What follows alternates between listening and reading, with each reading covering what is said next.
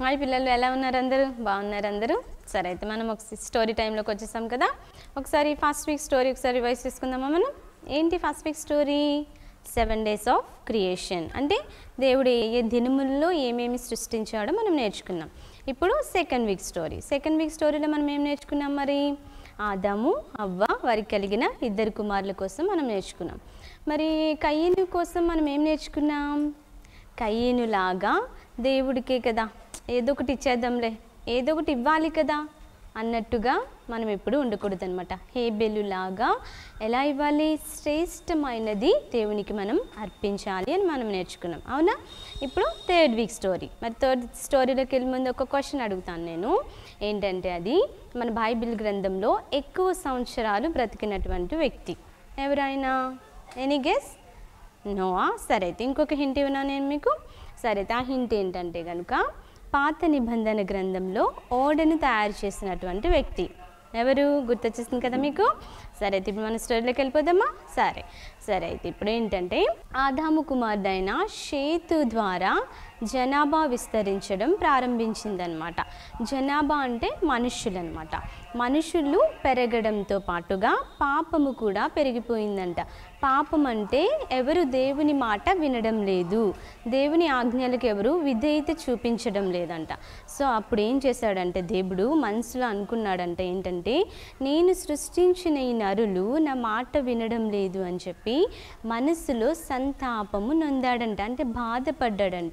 అలా బాధపడుతూ నరులను పరిశీలిస్తూ ఉండగా భూమి మీద ఒక మంచి వ్యక్తి దేవుడికి కనిపించారంట. ఎవరా వ్యక్తి?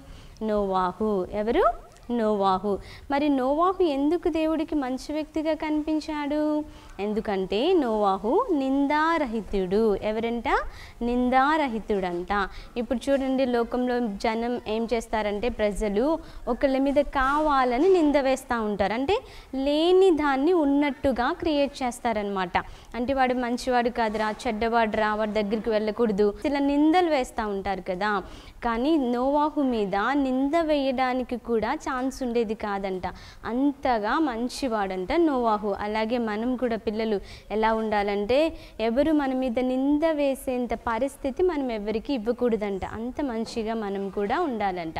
ఇంకొకటి ఏంటంటే నోవాహు నీతి పరుడంట ఎవరంట? నోవాహు నీతి పరుడు అంటే ఏ పనిలోనైనా నిజాయితీగా ఉండేవాడంట. ఇప్పుడు చూడండి పిల్లలు కొంతమంది పిల్లలు ఏం చేస్తారంటే మమ్మీ ఒక టెన్ రూపీస్ ఇచ్చి ఏదైనా కొనుక్కురమ్మని చెప్పింది అనుకోండి మమ్మీ ఒక ఫైవ్ రూపీస్ మాత్రమే తీసుకురమ్మంది. మనం ఇంకొక ఫైవ్ రూపీస్ ఉన్నాయి కదా ఏం చేస్తాం? ఫైవ్ రూపీస్ రూపీస్ కొనుక్కుని మనం తినేస్తాం కదా తినేసి వచ్చిన తర్వాత మమ్మీ అడుగుద్ది ఇంకో ఫైవ్ రూపీస్ ఏదిరా? అంటే మమ్ మమ్మీకి మనం ఏం చెప్తాం? పడిపోయింది మమ్మీ అని చెప్పేస్తాం. కదా? అక్కడ మరి నీతి ఉందా? నిజాయితీ ఉందా? నిజాయితీగా మనం లేదు కదా? అలాంటి పనులు ఎప్పుడూ చేయకూడదనమాట నోవాహు ఏ విధంగా నీతిగా ఉన్నాడో మనం కూడా అలాగే ఉండాలన్నమాట. నోవాహు దేవునితో నడిచేవాడంట. ఎవరితో నడిచాడు? దేవునితో నడిచేవాడంట. మనం కూడా ఎప్పుడు దేవునితో నడవాలంట. ఏంటక్క ఎప్పుడు దేవునితో నడవమంటాం మరి హోంవర్క్స్ ఎప్పుడు చేసుకోవాలి? అదే కదా మీ ప్రశ్న. సరే అయితే మనం దేవునికి సమయాన్ని ఇవ్వాలి. అంటే ఒక్కొక్క దానికి ఒక సమయం ఉంటుంది కాబట్టి మనం కొంచెం సమయాన్ని మనం దేవునికి అప్పగించాలన్నమాట. ఓకేనా పిల్లలు?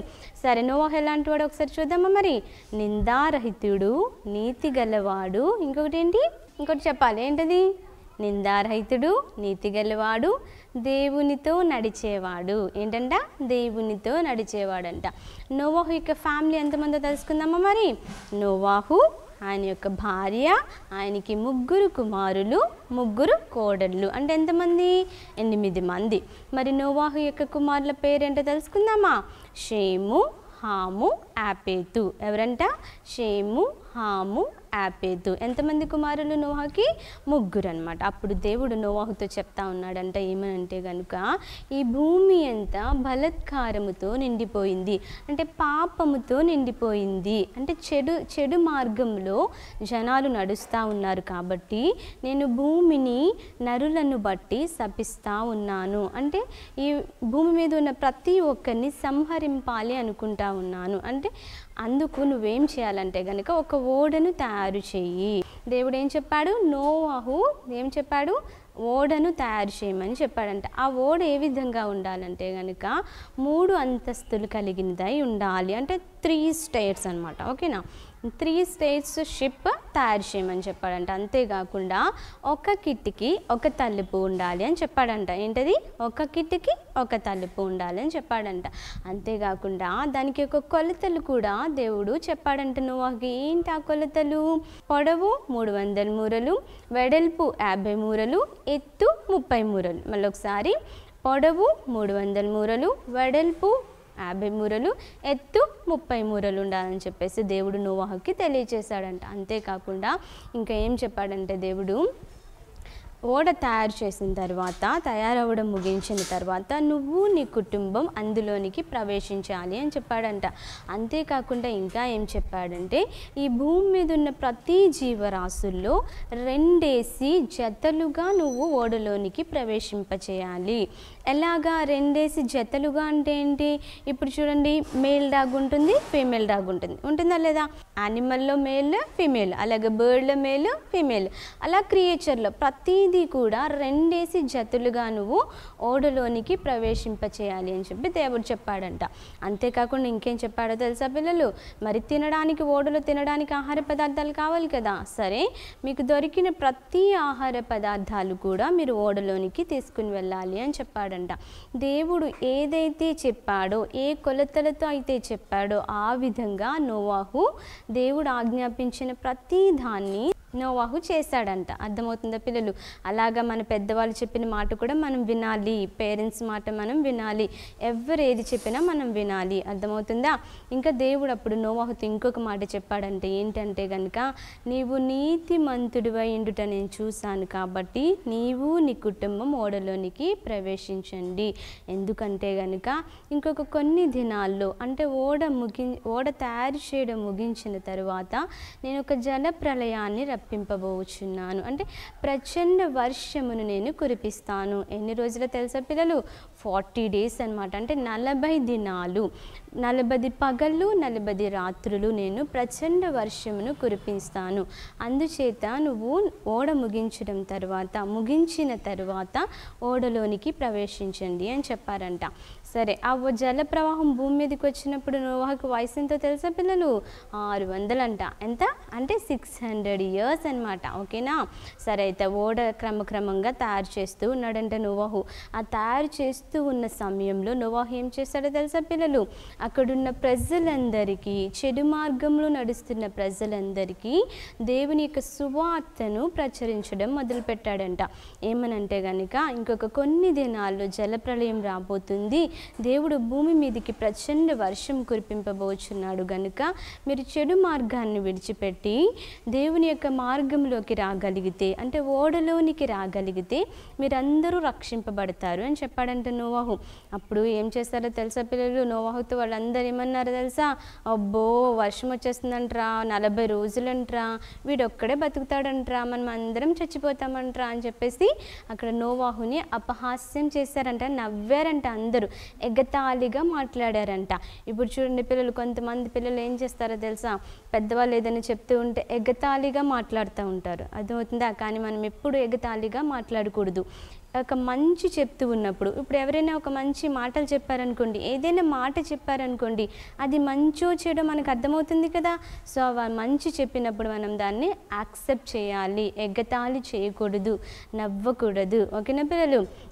సరే అయితే ఓడ ఓడ తయారు చేయడం ముగిసిందనమాట ముగిసిన తర్వాత ఓడ ప్రచండ వర్షాన్ని భూమి మీదకి దేవుడు రప్పించాడనమాట ఎన్ని రోజులు? నలభై రోజులు. ప్రచండ వర్షం అనమాట ఎడతెరిపి లేకుండా. అంటే ఇంకా స్టాప్ అనేది ఉండదనమాట ఇంకా అలా ఫార్టీ డేస్ వర్షం అలా కురుస్తూ ఉందంట. మరి ఫార్టీ డేస్ వర్షం కురిస్తే ఈ భూమి అంతా ఎలా ఉంటుంది? నిండిపోతుంది కదా. పర్వతములు సహా మునిగిపోయాయి అనమాట పర్వతములు ఇంత ఎత్తుంటాయా? కాదు కదా.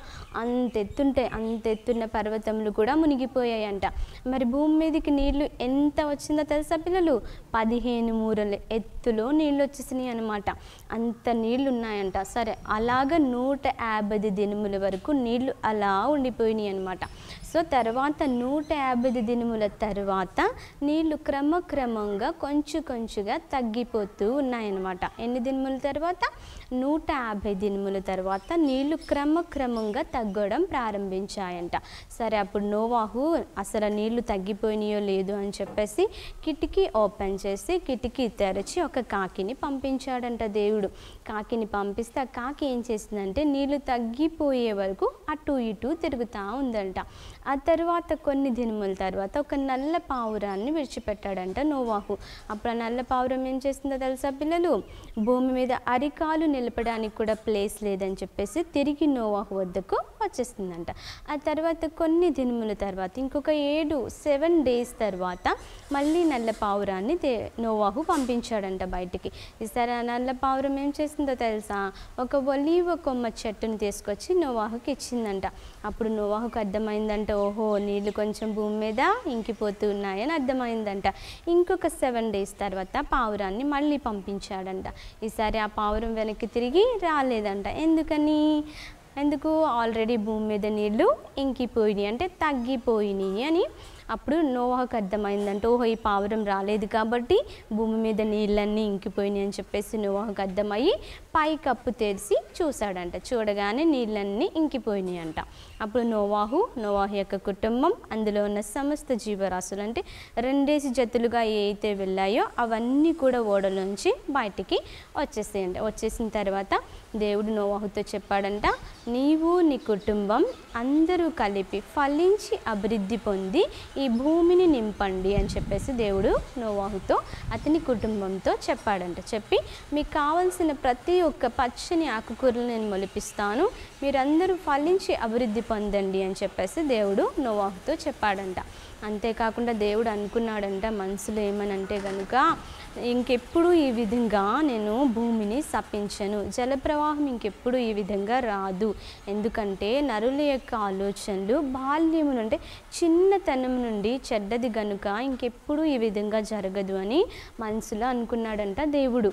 అంతేకాకుండా దేవుడు నోవాహుతో ఒక చెప్పాడంట ఏంటంటే ఒక నిబంధన చేశాడంట దేవుడు నోవాహుకి. ఏంటో నిబంధన తెలుసా? ఆ నిబంధనకు గుర్తుగా ఆకాశంలో ఒక ధనస్సును ఉంచాడంట. ఏంటిది? ఒక ధనస్సు. మరి అది మీకు తెలిసే ఉంటుంది. ఎప్పుడు వస్తుంది చెప్పండి జన్ ధనస్సు? ఆకాశంలో మేఘాలు వచ్చినప్పుడు. ఇంకా వర్షం ఆగిపోయినప్పుడు ఆకాశంలో ఏమొస్తుంది? ఇంద్రధనస్సు వస్తుంది అనమాట ఆ ఇంద్రధనస్సు అంటే ఏంటి? హరివిల్లు అంటారు ఇంగ్లీష్లో రెయిన్బో అంటారు కదా.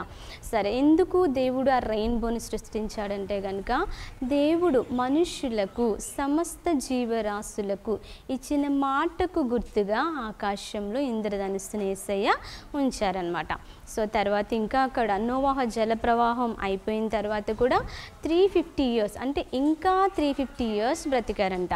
అంటే అక్కడ సిక్స్ హండ్రెడ్ ఇక్కడ త్రీ ఫిఫ్టీ అంటే ఎన్ని ఇయర్స్ నైన్ ఫిఫ్టీ ఇయర్స్ నోవాహు బ్రతికారనమాట ఇది నోవాహు యొక్క స్టోరీ మనం మనం దీని నుంచి మనం ఏం తెలుసుకున్నాం?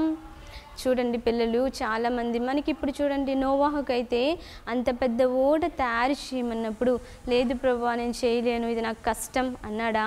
లేదు చెప్పినట్టుగా తూచా తప్పకుండా కొలతలతో సహా ఇచ్చినప్పుడు చక్కగా వేస్తే ఏదైతే ఆజ్ఞాపించాడో అలా చేశాడు. అవునా కదా పిల్లలు? ఇప్పుడు చూడండి మనం ఏం చేస్తాం? మా మమ్మీ ఒక పని చెప్పింది అనుకో అమ్మ నేను చేయలేనమ్మా ఇప్పుడు అంటా ఉంటాం. అవునా కదా? ఏదైనా సరే దే నోవాహు ఏ విధంగా దేవుని యొక్క ఆజ్ఞకు లోబడ్డాడో అలాగే మనం కూడా దేవుని యొక్క మాటలకు పెద్దవాళ్ళ మాటలకు మన పేరెంట్స్ యొక్క మాటలకు ఏమనాలి? లోబడి ఉండాలి.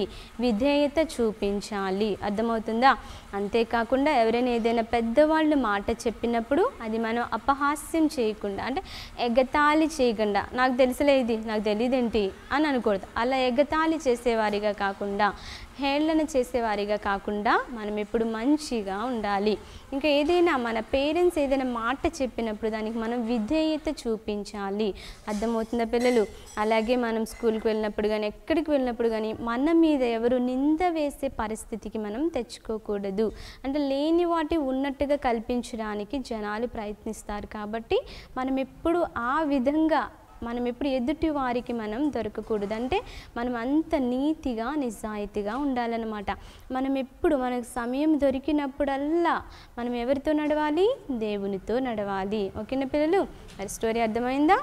మరి వచ్చేవారు ఒక మంచి స్టోరీతో మనం అందరం కలుసుకుందాం. అప్పటి వరకు గాడ్ బ్లెస్ యూ.